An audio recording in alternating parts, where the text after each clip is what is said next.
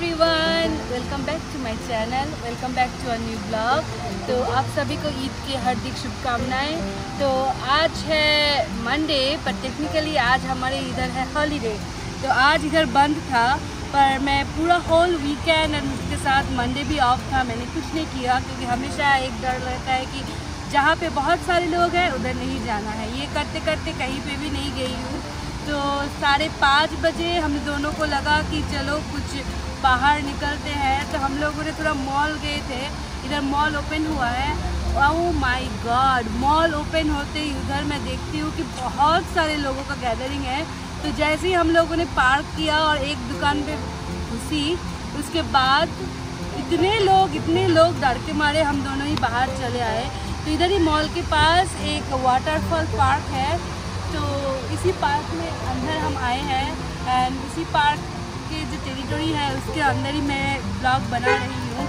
तो ये जो पार्क है, ये 35 इयर्स से को बनाया गया था। तो ये जो पार्क है, ये बहुत ही अच्छा एम्बियंस है, बहुत ही अच्छा जगह है। हर तरफ़ बहुत सारे पेड़ लगाया हुआ है। तो अच्छा लग रहा है, पर जो भी है यू नो अच्छा नहीं लगता है कि बाहर आओ एंड और और घर पे भी एक आदमी कितना देर रहे।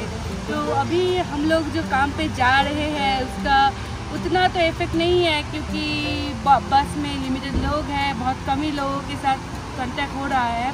एनी अब तक हम लोग सेव है, पर जिस तरह से ये बढ़ रहा है तो नेवर नो एनी तो आप लोगों ने अपना ईद कैसे मनाया? आई नो इस साल का ईद थोड़ा अलग गया है तो आई होप आप लोग सब अच्छे हैं, स्वस्थ हैं।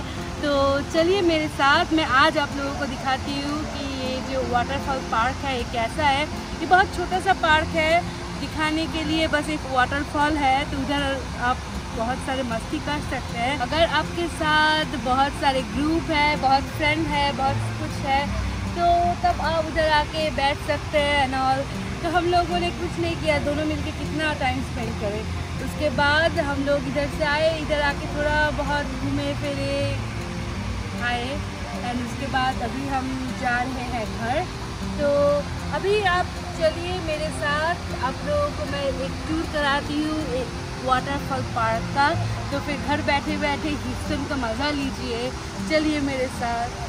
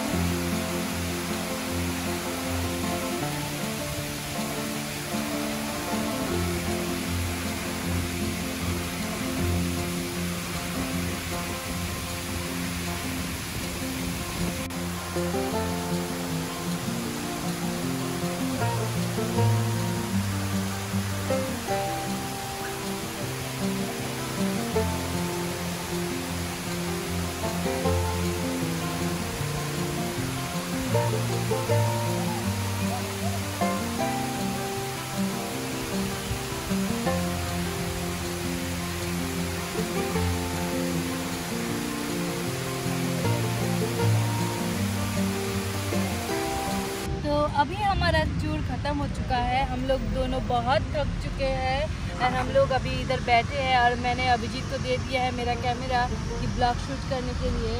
तो हस्बैंड होने का ये एक बेनिफिट और भी है तो आप कुछ भी कर सकते हैं। एनीवेज तो आज हम लोगों ने ऐसे ही अपना दिन बिता दिया और फिर कल से फिर से हमारा काम स्टार्ट होने वाला है।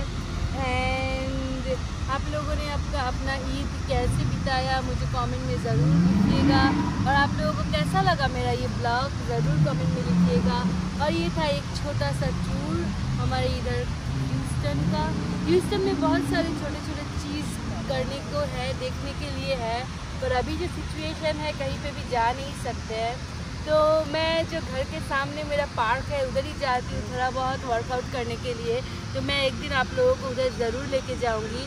तो एनी तो इसी के साथ मैं आज अपना ब्लॉग यहीं पे ख़त्म करती हूँ।